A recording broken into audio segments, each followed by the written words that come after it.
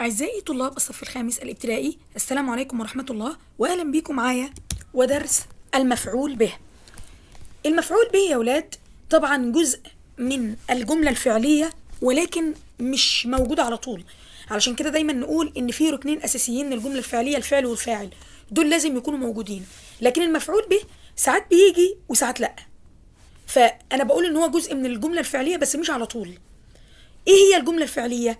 هي الجملة التي تبدأ بفعل وتتكون من ركنين أساسيين اللي هما إيه؟ الفعل والفاعل. زي ما قلنا وكثيرا ما يدخل الجملة الفعلية المفعول به. كثيرا لكن مش على طول. زي إيه؟ كالآتي. فاز الأبطال. الجملة هنا مش محتاجة مفعول به. فاز فعل ماض ومبني على الفتح. الأبطال فاعل مرفوع وعلامة رفعه الضمة. طيب رسم الفنان اللوحة. الفعل عندي إيه؟ رسم هو الفعل. فعل ماض مبني على الفتح. الفنان فاعل مرفوع وعلامة رفعه الضمة. طب الفنان رسم إيه؟ اللوحة. يبقى هي الإيه؟ المفعول به. مفعول به منصوب وعلامة نصبه الفتحة. إذا المفعول به زي ما إحنا شايفين ساعات بيجي ساعات لأ. يأتي كثيرا في الجملة الفعلية ولكن ليس دائما مش على طول. إذا هيا بنا نتعرف ما هو المفعول به وما هي وظيفته داخل الجملة الفعلية.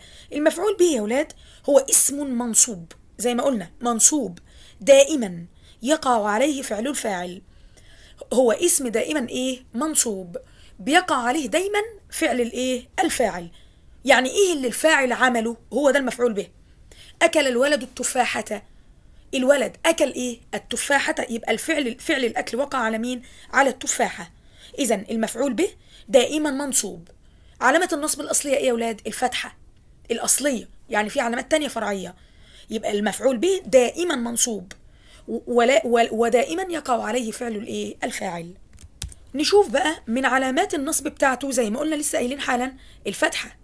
بس بينصب بالفتحة اللي هي العلامة الأصلية. مع مين؟ مع المفرد. لو وقع المفعول به مفرد. أو لو وقع جمع تكسير هيبقى علامته علامة نصبه العلامة الأصلية اللي هي الفتحة نشوف بالأمثلة نوضح أكتر. شرح المعلم الدرس. المفعول به مين؟ الدرس. إعرابه إيه؟ مفعول به منصوب وعلامة نصبه الفتحة ليه؟ لأنه مفرد. بيعبر عن مفرد ما هو درس. طيب باء كرم المدير التلاميذ. التلاميذ ده إيه مفرد ولا جمع؟ جمع. بس أنا عندي ثلاث أنواع جمع في اللغة العربية. جمع المذكر السالم جمع المؤنث السالم والتكسير. ده من أنهي واحد فيهم؟ جمع التكسير. يبقى هو المفعول به منصوب وعلامة نصبه الإيه؟ الفتحة. طب ليه؟ لأنه جمع إيه؟ تكسير. زرع الفلاح الأرض. الأرض طبعا مفعول به منصوب بالفتحة لأنه إيه؟ مفرد. وهكذا. إذا اللي بينصب بعلامة النصب الأصلية اللي هي الفتحة مين يا ولاد المفرد وجمع التكسير. مثال كمان. قرأ أحمد القصص مين اللي قرأ؟ أحمد يبقى هو الفاعل. قرأ إيه؟ القصص. يبقى هي المفعول به مفعول به ماله منصوب وعلامة نصبه الفتح. لأنه إيه؟ مفرد ولا جمع تكسير؟ برافو لأنه جمع إيه؟ تكسير.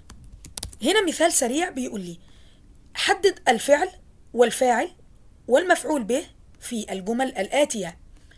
ألف نال الطفل الجائزة. أين الفعل يا ولاد أين الفاعل؟ الفعل نال برافو. الفاعل مين؟ مين اللي نال؟ برافو الطفل. طيب مين بقى المفعول به؟ برافو عليكم الجائزة. يبقى الفعل هنا نال الفاعل الطفل. الجائزة هي مين؟ هي المفعول به. نشوف المثال اللي بعد كده. قابل محمد الأصدقاء. أين الفعل؟ برافو قابل. طيب الفاعل مين؟ برافو محمد. مين اللي هو المفعول به يا ولاد؟ برافو عليكم الأصدقاء. طيب صنعت النجار المكتبة. أين الفعل وأين الفاعل وأين المفعول؟ طبعا الفعل هو صنع الفاعل النجار المكتبة هو الإيه؟ هو المفعول به. المثال الرابع مارس الأولاد الأنشطة؟ أين الفعل وأين الفاعل وأين المفعول به؟ طبعا زي ما إحنا شايفين مارس هو الفعل الفاعل الأولاد الأنشطة هي إيه؟ الذي وقع عليه فعل الفاعل التي هي الأنشطة اللي هي المفعول به. ودلوقتي يا أولاد نحل الأنشطة دي مع بعض. النشاط الأول حدد المفعول به في الجمل الآتية واكتبه. نحدد أنهي المفعول به ونكتبه. ألف. يحب الأطفال القراءة. أين المفعول به يا أولاد؟ برافو عليكم. القراءة. يبقى إحنا كده حددناه وكتبناه. باء. صمم المهندس المصنع. أين المفعول به؟ برافو عليكم. المصنع. هو الإيه؟ المفعول به. جيم. زار السياح الآثار. برافو عليكم الآثار حددناها وبعدين إيه كتبناها. دال ساعد الأولاد الفقيرة. برافو عليكم الفقيرة. هاء زين التلاميذ الفصول الفصول برافو عليكم. واو زرع الفلاحون الأرض. أين الفاعل؟ الم...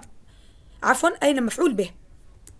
برافو الأرض زرع الفلاحون الأرض. الأرض هي المفعول به. النشاط الثاني بيقول لنا اختر الإجابة الصحيحة مما بين القوسين. ألف الرياضة تقوي الجسم. كلمة الجسم فاعل ولا مفعول به ولا ظرف ولا خبر؟ برافو عليكم مفعول به. لأن آه نعرب على طول الكلمة اللي قبلها فعل مضارع اللي هو تقوي فين الفاعل؟ ضمير مستتر تقديره هي بيعود على الرياضة. بتقوي إيه؟ الجسم يبقى الجسم هو اللي وقع عليه فعل الفاعل يبقى هو المفعول به. طيب نقل المذياع الأخبار. كلمة الأخبار مفعول به منصوب وعلامة نصبه إيه؟ برافو عليكم الفتحة. ليه؟ لأنه جمع تكسير زي ما قلنا. جيم كافأ المعلم التلميذ كلمة التلميذ هنا يا ولاد مفعول به منصوب وعلامة نصبه؟ برافو الفتحة. ليه؟ لأنه مفرد. دال كرمت الدولة الأطباء. كلمة الأطباء إعرابها إيه؟ ظرف مبتدأ مفعول به. فاعل برافو عليكم مفعول به. قرأ أحمد نقط مفيدة. كتب كتبا كتب كتب. قرأ أحمد إيه؟ برافو. كتبا. علشان المفعول به بيبقى منصوب وده جمع تكسير فيبقى علامة نصبه الفتحة. واو. أرسل الله تعالى الأنبياء الأنبياء الأنبياء أم الأنبياء؟ طبعا مفعول به يبقى منصوب بالفتحة. لا ليه لأنه جمع تكسير. النشاط اللي بعد كده. أكمل الجدول الجمل الآتية بمفعول به واضبطه. ألف. تقدر مصر نقط الأذكياء. عاوزين مفعول به يا ولاد.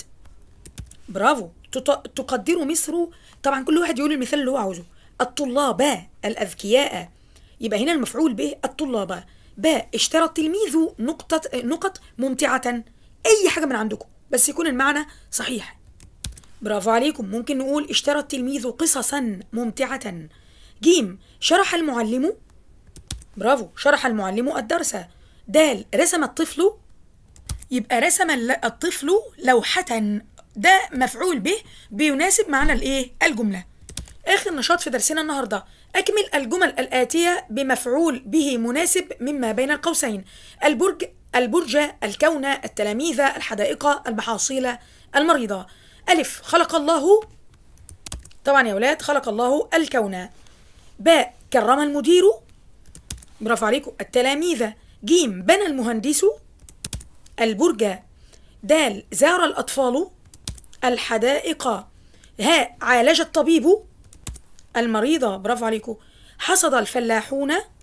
المحاصيل. وبكده يا ولاد أنهينا درس اليوم. وإن شاء الله نلتقي في الدرس القادم.